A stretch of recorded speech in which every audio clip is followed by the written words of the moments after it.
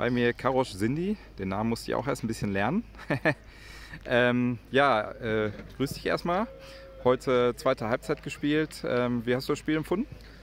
Oh, ich muss sagen, war positiv, war ganz gut. Ähm, ja, Wetter dementsprechend warm, aber ähm, wir haben das gut gemacht, muss ich sagen. Klar, hat nicht alles geklappt, ähm, aber auf zweite Halbzeit kann man auf jeden Fall ähm, aufbauen, vieles auch Positives mitnehmen.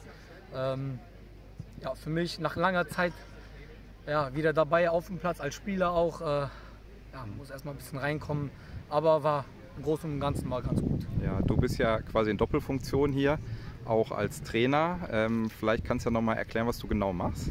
Ja, also ähm, ich mache privat seit dreieinhalb Jahren ungefähr Individualtraining und ähm, es ist so eine Mischung aus ähm, ja, athletischen Bereich, Agility, aber auch viel Technik, viel mit dem Ball und ähm, ja, mit eng mit der Absprache mit, mit einem Trainerteam ähm, versuche ich natürlich die Jungs auf diese ganzen Ebenen ähm, ja, ein bisschen voranzubringen und ein, die paar Elemente auch im Training einzubauen.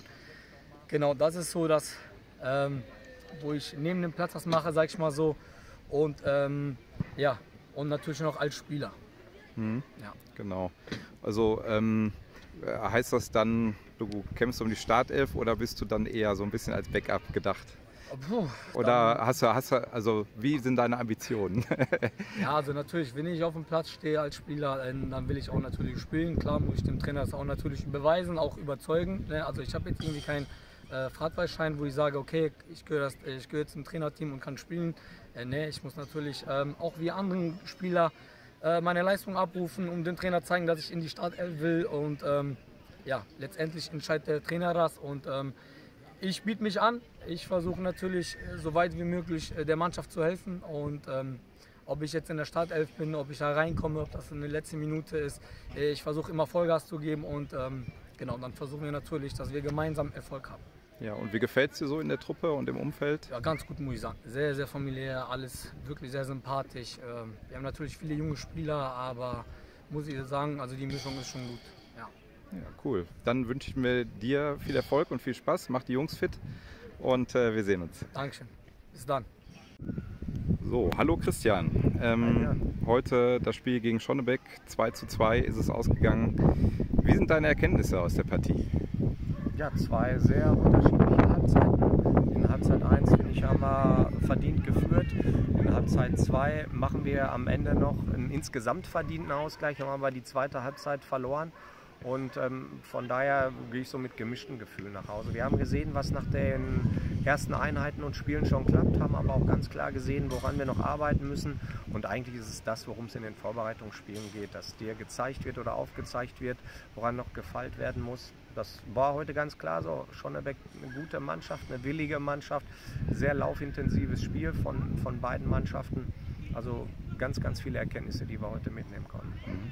Jetzt ähm, ist ja so ein bisschen auffällig, dass halt äh, die Mannschaft in der ersten Elf, bis auf Felix Casalino, der heute nicht dabei ist, ähm, äh, relativ gleich zu dem Spiel bei ETB sind äh, oder ist. Ähm, ja, ähm, ist das schon ein bisschen äh, einspielen oder ähm, hat das irgendeinen tieferen Sinn, dass du die relativ ähnlich ausstellst in den Halbzeiten? Wir haben das auch in den ersten beiden Spielen schon gemacht. Ja, da war ich also nicht dabei, Entschuldigung. Den, ja, kein Problem. Das ist jetzt in den ersten vier Spielen so. Klar geht es darum, gewisse Automatismen zu finden, dass auch der eine oder andere sich mit seinem Mitspieler findet. Und ähm, die ersten beiden Spiele war es dann in der zweiten Halbzeit besser. Spiel Nummer drei und vier war es dann in der ersten Halbzeit besser. Also man sieht, dass, da gibt es noch keine Konstanz drin, aber das, das wird sich finden. Mhm. Und was glaubst du sind noch so die größten Baustellen? Die Abstimmung. Also sowohl was Laufwege im Ballbesitz angeht und dann eben auch gegen den Ball, wer in welchem Raum welchen Mann zu übernehmen hat und so weiter. Ähm, das waren heute in der zweiten Halbzeit die größten Baustellen, die wir hatten. Aber liegt eben auch daran, dass wir einen guten Gegner hatten, der offengelegt hat, dass wir da noch dran arbeiten müssen, gerade mit der äh, Struktur, die wir in der zweiten Halbzeit auf dem Platz hatten. Aber das war fast so zu erwarten. Ja, dann interessiert die nur 9 Fans sicherlich auch noch der Zustand von Martin Kreh. Wir haben es ja schon geschrieben, äh, von Martin Kreh, Henry Kreh. Ähm, ja, wie ist es da? Also ähm, Kreuzbandriss haben wir gehört. Ähm, sieht also so aus, ob er uns lange oder in der Hinrunde nicht mehr zur Verfügung stehen wird. So ne? sieht's aus. Also das Spieljahr 2023 ist für Henry leider beendet. Ähm, auch auf diesem Wege nochmal gute Besserung, Henry. Er ist natürlich niedergeschlagen, aber ähm, hat sofort die ersten Anrufe und aufmunternden Worte aus der Truppe bekommen. Ich habe ja auch gesehen, auch, auch von den Fans, da kann man sagen, was man will. Das tut in diesem Moment dann auch wirklich gut.